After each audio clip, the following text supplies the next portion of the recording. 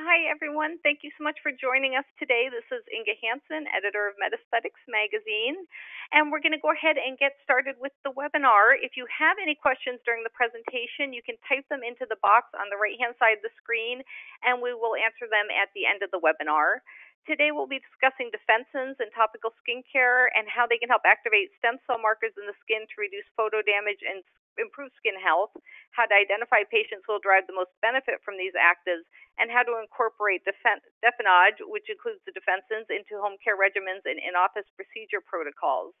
Our presenter today is board certified dermatologist and founder of Curcio Dermatology in Nashville, Dr. Natalie Curcio. Dr. Curcio is a Castle Connolly Top Doctor in Dermatology and 2017 recipient of the Exceptional Women in Medicine and Dermatology Award. She currently serves on the AAD Congressional Policy Committee, ASDS Membership Work Group, and the ASDS Product and Service Development Work Group. Welcome, Dr. Curcio.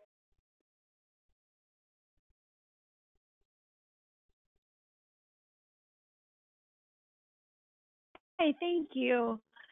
Uh, thank you to everyone for joining. Um, we're going to go ahead. A little overview about what today um, we're by discussing um, cells in the skin, focus a little more specific and what they, we're going to discuss the Dash product line, review some of the clinical by DefenAge. We're going to talk about uh, some DefenAge and incorporate DefenAge. And first, we're going to begin stem cells and working in the skin. So these stem cell types include the pluripotent, which most familiar with as the embryonic cells, birth-associated stem cells, uh, which most of as the placental stem umbilical cord stem cells, include neural stem cells, and then the adults, which are the basal cells of the skin cells and stem cells, which bone marrow stromal cells and the adipose mesenchymal stem cells. Fit to adult stem cells that there's minimal or no and they're quick development. Jobs of these adult cells will maintenance. They replace the exhausted tissues and organs. So when we're talking about basal cell layer and this produces new this is um, trauma repair, replacement of damaged cells. So when your skin becomes dead and you have a hole in your abdomen, mm-hmm. yeah, um, I I think your speaker is breaking up a little bit. We're having difficulty hearing you. Um, cells repair the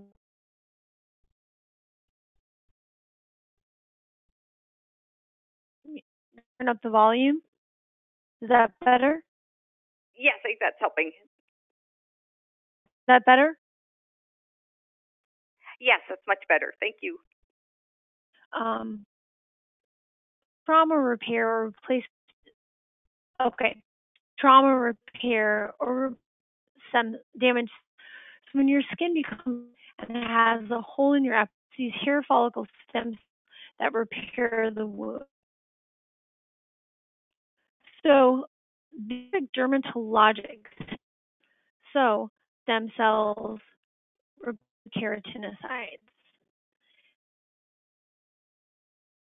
Then the cells, of which they're they're located bulge on the hair, and they're responsible for skin homeostasis.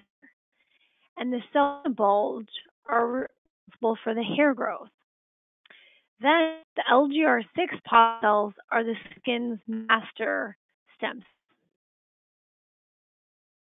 So these are six positive stem cells known as the skin's mast cells, give rise all lineages of the they establish uranus in the pre-period and used to establish the cells in wound healing. And this is shown in several basic articles. About old versus um, with respect to proliferation and damage. The going to acquire much more rapidly than dormant cells.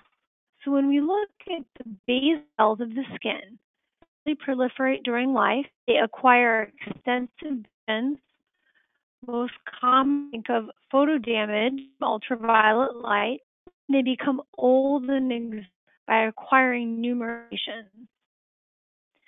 Compare these to the LGR stem cells. Stay dormant throughout life and only wake up and wound healing. Acquire minimal number of compared to cells that are concentrating and turning over. Produce new and fresh wound healing because of damage shown in numerous specifications. So acquired cause multiple in skin cell function. Left, you can see old basal stem cells, keratinocytes, dermis.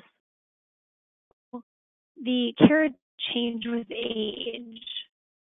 So differentiation, signaling, and growth and low barrier function. Hi, Dr. Curcio. I'm so sorry. To young bees, they're making active keratinocytes epidermis. Hello? Hi, it's Inga. I'm sorry to interrupt again. The the sound quality is we're losing you again and just wanted to check in and, and see if maybe the microphone could be moved a little bit.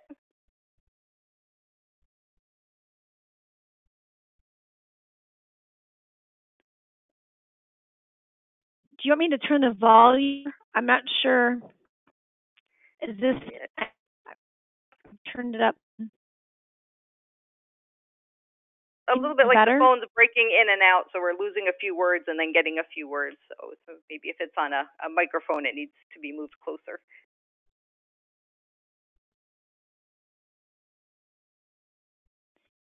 It's a, it's a regular tel. It's pretty close. I'm not. Okay, let's try it with that. Does this sound any better? I heard that clearly, so let's see. I'm going to move on to the discussion of what of what are defense. So defensins are messaging peptides. Defensins message the LGR6 positive cells to wake up and build new beta cells. Defensins are anti-peptides released by neutrophils in wounds. Defensins are peptides, but not growth factor. And you can see on this chart that the peptides are by ones that are cytokines, secreted proteins, and ones antimicrobial peptides. Defensins fall into the category of antimicrobial peptides. And the two defensins that we're talking about today are the alpha and beta defensins. So as we mentioned, the newly created basal stem cells produce fresh keratinocytes the rest of your life. The immune system neutrophils release defensins that activate these LGR6 positive stem cells. Activated stem cells create the new basal stem cells, and the newly ba- created basal cells are what produce the fresh keratinocytes that last forever.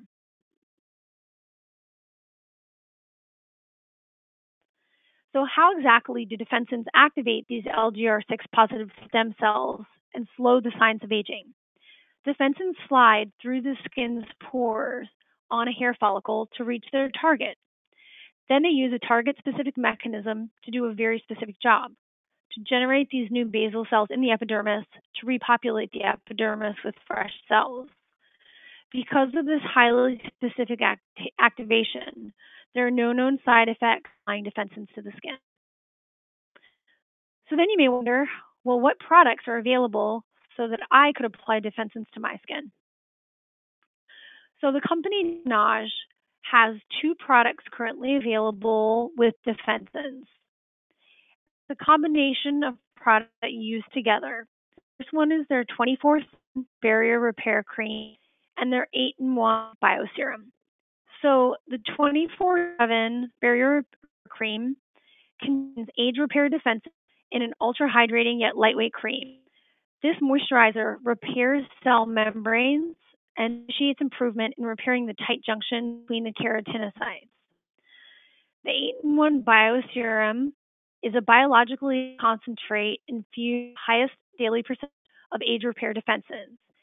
It contains five times more defensins than the cream and has a global anti-aging benefit.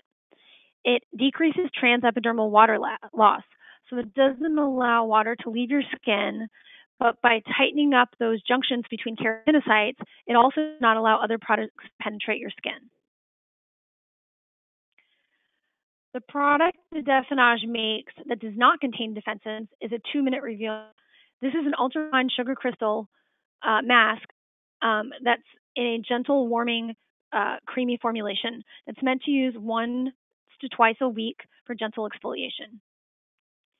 And all three products come as a clinical power trio, either in the trio of the full-size products, um, a fly kit, which is meant for a two-week use during travel, or in a 24 hour fast starter kit.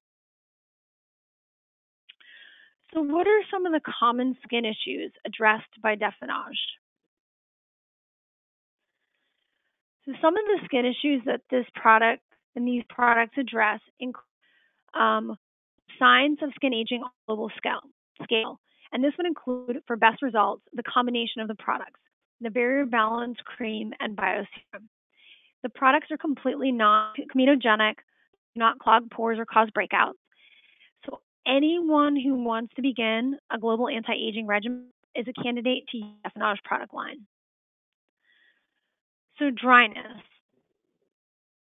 The cream is ultra hydrating, lightweight, so it's great in the most dry skin texture.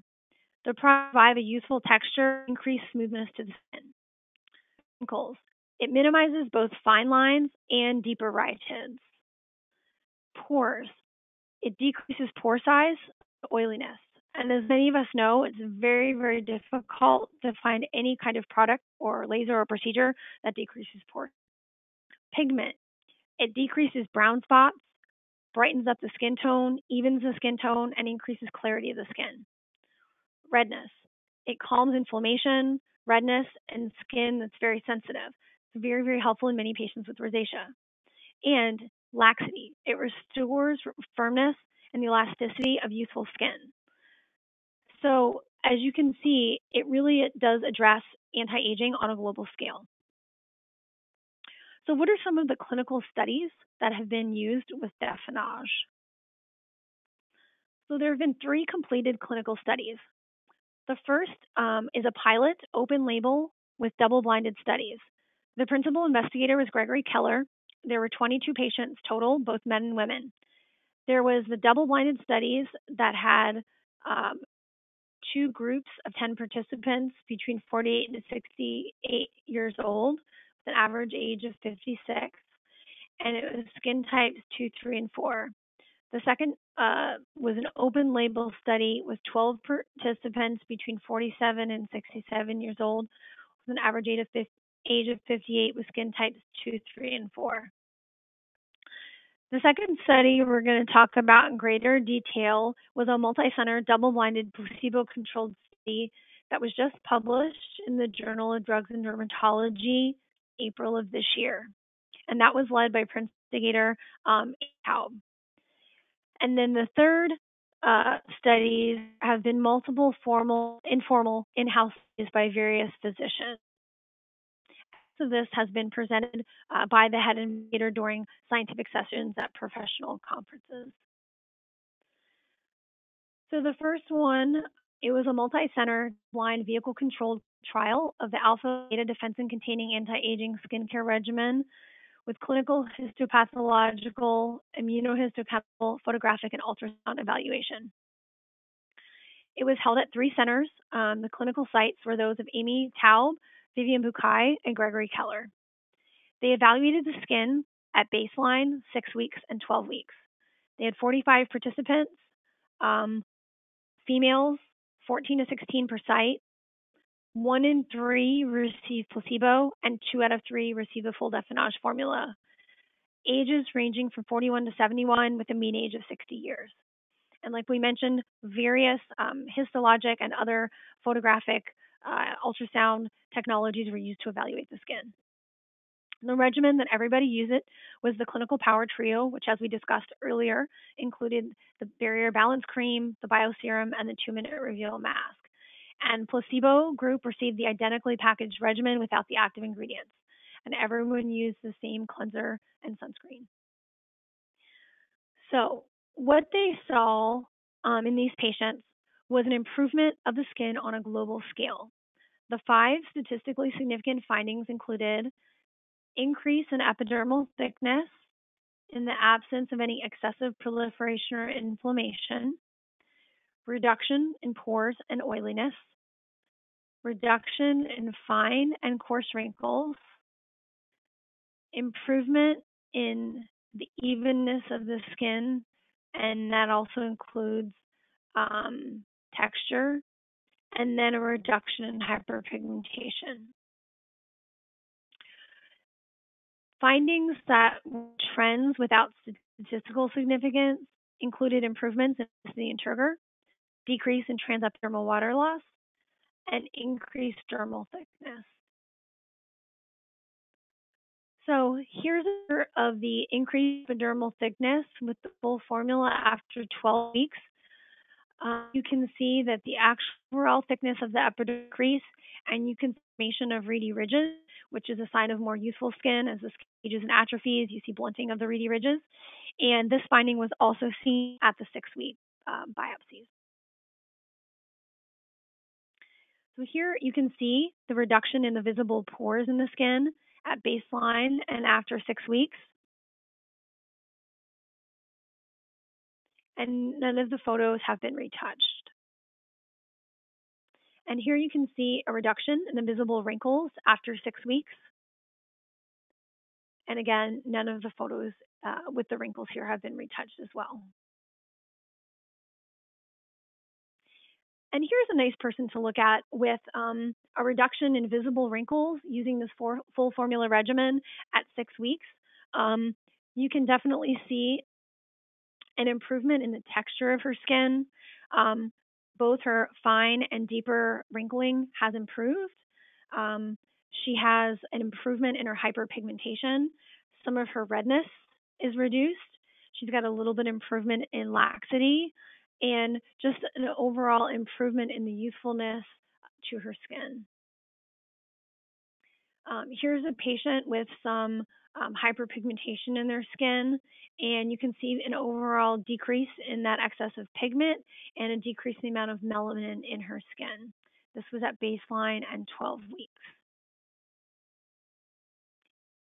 And again, another patient, global scale improvement, full formula, decrease in deeper rhytids, finer wrinkling, um, skin texture, hyperpigmentation, um, and overall, you know, wiping the years off the face and really turning the clock back. Um, this is um, a single patient um, that was presented by Dr. Diane Duncan out of Fort Collins, Colorado. She did a single microneedling treatment plus three single applications of the 8 in 1 bioserum to this person's forearm. And you can see the baseline photo, and then eight weeks later, they had a significant improvement in the texture, crepiness, fine lines, and even pigment in their forearm. So, you know, very impressive results beyond what you would traditionally see with one simple microneedling treatment. And this is one of my favorite photos. Um, it was um, the spouse of this Dr. Norman Pastorek out of New York, New York. They decided um, to take an outside picture to look at the crinkling and crepiness of the forearm skin.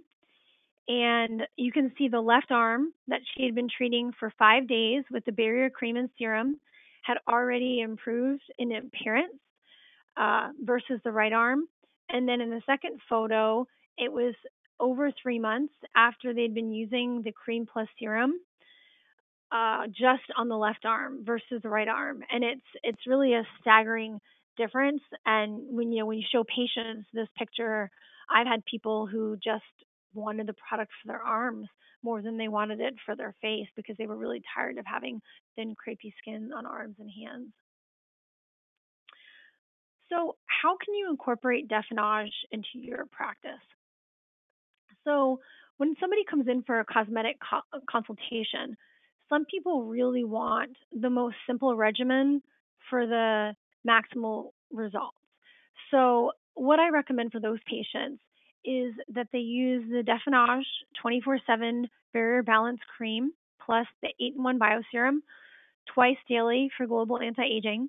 Most of those people will also walk out, you know, with the Clinical Power Trio and they will use the um, two minute reveal mask once or twice a week as well. Um, they will also purchase a sunscreen because the DefenAge products do not contain sunscreen and an antioxidant serum twice daily. And you can, with this very simple regimen, achieve fantastic results. And these people tend to be extraordinarily happy. Well, what about the patient that wants a more complex regimen? Some people want to use more things. Some people may have a product that they're already in love with that they don't want to give up, or they may have a more complex uh, cosmetic issue or issues that they're dealing with. So these people tend to want to add DefenAge to an existing regimen or just combine multiple products. So for these patients, I tend to recommend the DefenAge 24/7 Barrier Balance Cream plus the 8-in-1 Bioserum at night. And then many of them are already on a micropeptide or growth factor product that they use in the morning. Everybody, of course, uh, recommends sunscreen for daily use as needed and then an antioxidant serum twice a day. And then for patients that need a more, you know, targeted product like eye cream, neck cream, additional skin brighteners, etc., they can add these to the regimen to address additional concern. And um, some news hot off the press for DefenAge lovers. Um, they are going to be launching an eye cream in the first quarter of 2019, so stay tuned for that. And then I really love to use DefenAge post procedure. Um, I use a lot of um, fractional ablative resurfacing with radio frequency, um, like the Fractora device by InMode, uh, or for people who do a lot of uh, microneedling with RF. So many people are already using the DefenAge combination of the cream plus bioserum prior to the procedure. So um, when you're doing ablative resurfacing, we have people stop that for the 48 hours post procedure. I usually put them on a micropeptide product that's safe for immediate post procedure. When the um, fine holes in the skin are still open, what they can do is resume application of the 8 in 1 bioserum twice daily when the fine holes in the skin have completely closed and the epidermis has reepithelialized. And that's usually 48 hours post procedure. And then after one week, when the skin has fully healed, um, and that's for the uh, type of uh, fractional ablative resurfacing that I do, might be longer if you're using CO2 or other uh, procedures, then they can resume the original skincare regimen with the DefenAge. So I would like to um, give a special thank you to Nikolai Turovets, the CEO of DefenAge, um, for all of the wonderful information that he has shared with me over the years about the product and for all of his wonderful work. Great, thank you so much and um, for this presentation. And we do have a number of questions that have been coming in that we wanted to share with you. And one is you had talked about using the antioxidant serum in addition to the DefenAge Trio. And one question is, do you apply the serum before or after the DefenAge product? Okay, that's that's a great question. So the cream plus serum are applied um, back to back. First the cream, then the serum, because the serum closes the tight junctions in your skin. So anything you would apply after the serum cannot get in. So the only things you should apply after would be like sunscreen or makeup, which you don't want to penetrate in your skin. So whether you're using a skin brightener, antioxidant serum, anything like that, it all has to be applied before you put the DefenAge products on. That's an excellent question. Right, and also um, in the clinical studies, these were six weeks of use, and so uh, one attendee had a question: Do you continue to use these um, indefinitely, or after your initial six weeks, is there a different plan for maintenance? Um, Uh, that's a great question, and I, I just want to clarify one thing. Um, in the in the Journal of Drugs and Dermatology study, they had six and twelve week time points, um, so that w- they did finish it through twelve weeks. But um, I have found that most of my patients are so thrilled by the way they look, people don't want to stop. I mean, they look fantastic, and so people just incorporate it into their regimen and and keep going. Terrific. And are there any concerns at all if you have patients who've had skin cancer and using this product? Um, that is a great question. Um, you know, sometimes the concern is brought up with growth factor products, although it hasn't ever been, you know, shown with medical grade growth factor products. But because um, DefenAge is creating a new basal cell, which is creating new keratinocytes, um, there's no concern with skin cancer, and it's actually much safer to use in people who may have, you know, hundreds of skin cancers all over their body as opposed to someone who's just had one. Um, because um, you're not working on tired old basal cells and tired old keratinocytes, which may have had significant damage throughout a lifetime of like heavy sun exposure. Um, these are fresh new cells, just like they'd be in a baby. So there's actually that's why the product is actually safer on people that have had like a heavy uh, can- skin cancer history. And there's a question on um, will this product have any effect on vellus hair on the face? So if someone's had laser hair removal and is left with the real fine hair. Um, no, it has. It doesn't have any effect, and you know it doesn't have any effect even if people have like hypertrichosis or excessive hair um, on the face. It doesn't have any effect on that either. And is it okay to use this product uh, if you have a patient who has active acne or active rosacea with the pustules? Should they be using this or wait until it's cleared? So, because it's um, oil free and non comedogenic, it shouldn't negatively affect acne um, or rosacea. Um, I actually have both acne and rosacea. and so when I first started using it, I, I always get nervous about trying new products, but I always try them before I sell them in my office to make sure that I'm not selling something that's going to create a lot of problems for other people down the road. And I actually saw that it helped my rosacea uh, significantly. And I have the papulopustular type of rosacea. So I saw decreases in the number of red bumps and pustules on my face when I was using the you know, DefenAge, especially in the summertime when I have more problems with the heat. Mm. And another question we had had to do with the microneedling treatment, and um, yes. in some cases you had recommended waiting 48 hours to start applying, um, and that some people have told they can start applying it in the first 24 hours after treatment. Um, so, I'm wondering what what is the recommendation, and does it depend on the aggressiveness of your microneedling treatment? So, the company has put out an official statement to not apply DefenAge until 48 hours uh, post any type of microneedling with or without RF or even with ablative RF. Um, because um, you know it has been shown with ascorbic acid or vitamin C that people can get granulomas applying that directly after microneedling, and so um, that you know the official advice with that is also to wait 48 hours, even though there are people who don't. Um, and so DefenAge has taken more of a conservative approach and said, let's wait 48 hours after microneedling so it doesn't cause any kind of side effect. And then a follow up question to that was what do you recommend in those first 48 hours post microneedling? Um, like for like application to the face? Right. Um, so a couple of products have been shown safe to um, apply after microneedling or microneedling with RF. Um, uh, BioCream, but not BioCream Riche by Neocutis, you can apply directly to the face, um, even with like fractional ablative RF. Um, and then Alastin has a product um, called their Skin Nectar, um, which is actually made to be a post procedure product. And you can use that with anything from microneedling, microneedling with RF to CO2 or erbium. Terrific. And we have two questions I'm going to put together, but one um, was asking Have you ever used this uh, for a patient with vitiligo? And there was also a question on whether this is helpful with um, AKs or benign pigmented lesions. Um, I have not used it in a patient with vitiligo. I ha- it's not that I've avoided it. I just haven't had a person with vitiligo interested in using it.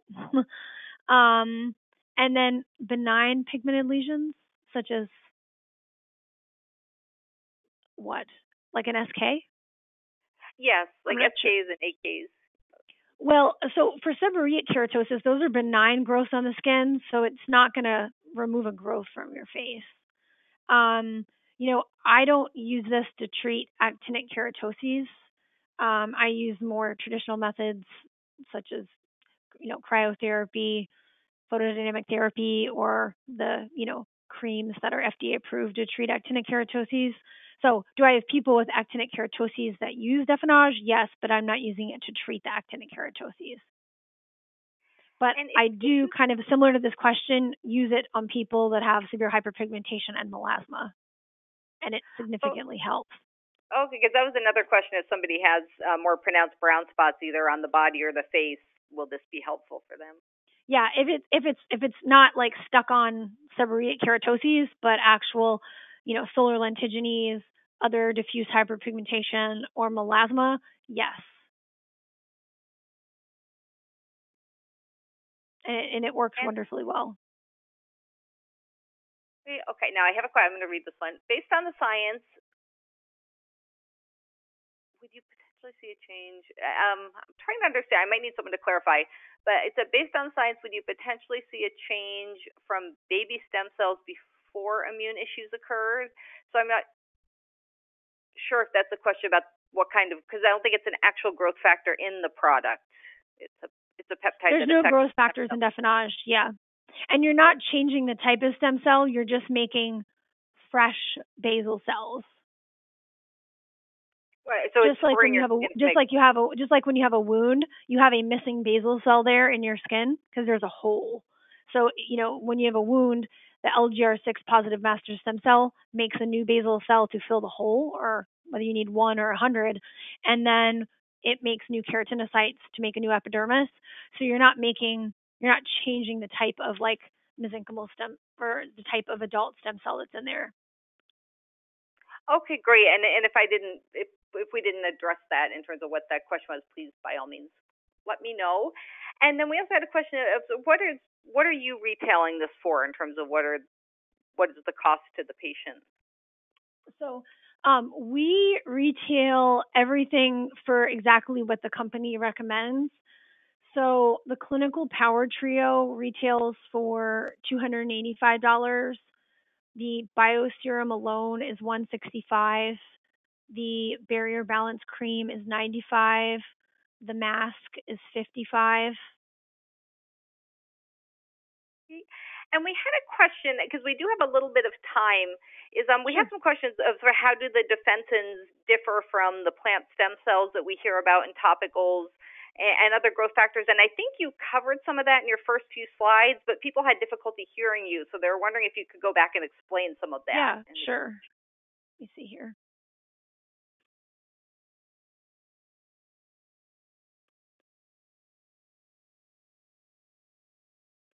Pull this up here.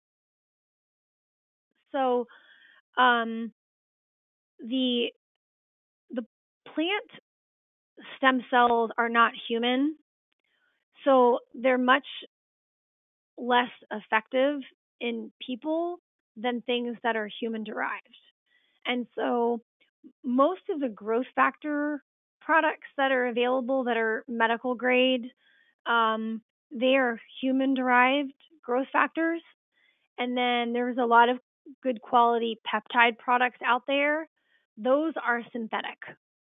So they're not human derived, but they're created to target, you know, um, different molecules in our um, dermis to produce collagen, elastin, hyaluronic acid, different types of collagen, things like that. The defensins are that are in DefenAge are synthetic copies of human alpha and beta defensins. So they're not from a human being, but they're synthetic copies that to your body look exactly like um, human alpha and beta defensins. Great, and that is actually all of the questions we had. So thank you so much for this great presentation. And if anyone has questions and follow-up, please feel free to to email me or Dr. Curcio, and we'd be happy to follow up with you. And thank you so much to all the attendees for tuning in. Thank you.